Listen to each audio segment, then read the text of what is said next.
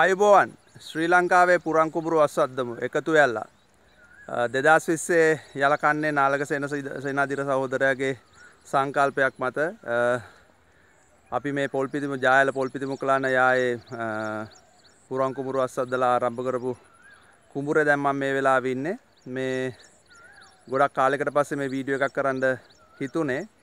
ඇත්තටම මේ වෙලාවේ රජය විසින් ගත තීරණය කාබනික වගාවට යොමු වෙන්න රජය විසින් තීරණයක් අරගෙන තියෙනවා. ඒක අපි නාලක මල්ලිලා කතා කරන්නේ අවුරුදු දෙකකට කලින් ඉඳලා.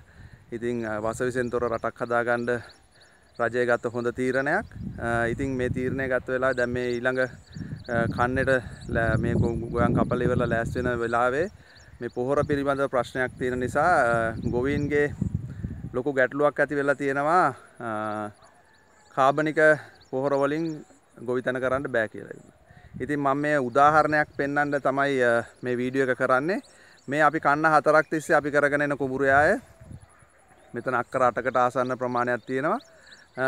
මේ මගේ මේ වම් අත පසින් පේන්නේ මේ මුළු වලාතම කරලා තියෙන්නේ අපි කුරුළු තුඩ වවලා තියෙන්නේ. මේ තනිකර කාබනික පොහොර යොදලා වගා කරලා තියෙන්නේ.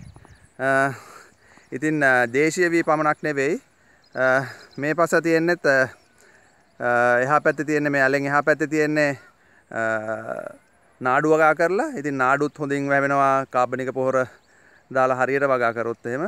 ඉතින් මම මේ සියලුම ගොවි මහතුන්ට සහ අපේ තරුණ තරුණයන්ට මේ වෙනුවෙන් කෘෂිකර්මාන්තයට යොමු වෙලා ඉන්න පිරිසට මේ පවස මේ පණිවිඩය දෙන්න කැමති.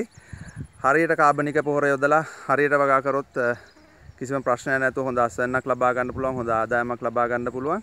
ඉතින් මේ ප්‍රශ්න නිසා මේ පොහොර කාබනික පොහොර නිසා රසායනික පොහොර නැතුව වගා කරන්න බෑ කියන පුහු මතයෙන් මිදෙන්න මිදිලෙවරලා කාබනික පොහොර මගින් වගා කරන්න පටන් ගන්න මේ ඔබලට ප්‍රශ්නයක් තියෙනවා නම් ඒ ප්‍රශ්න වලට විසඳුම් සොයාගන්න තිලක් කන්දගම් මහත්තයා මිනිකන්දල මහත්තයා ගුරුසිංහ මහත්තයා වගේ අපේ ජේෂ්ඨයෝ කාබනික වගාව කරන ජේෂ්ඨයන්ට කතා කරලා දැනුවත් වෙන්න තවත් මොනහරි තරුණ කොටස් වලට ප්‍රශ්නයක් විසඳා ගන්න තියෙනවා නම් නාලක සේනාධීර සහෝදරයට කතා කරන්න.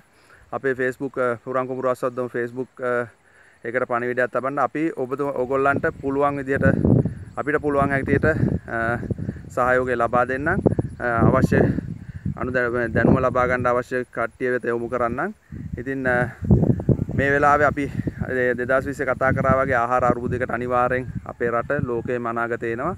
ඒක නිසා හැකිතාක් වගා කරන්න එකතු වෙන්න කියලා තරුණ කොටස් ඔක්කොටම කතා ආරාධනා කරනවා මේ වෙලාවේ.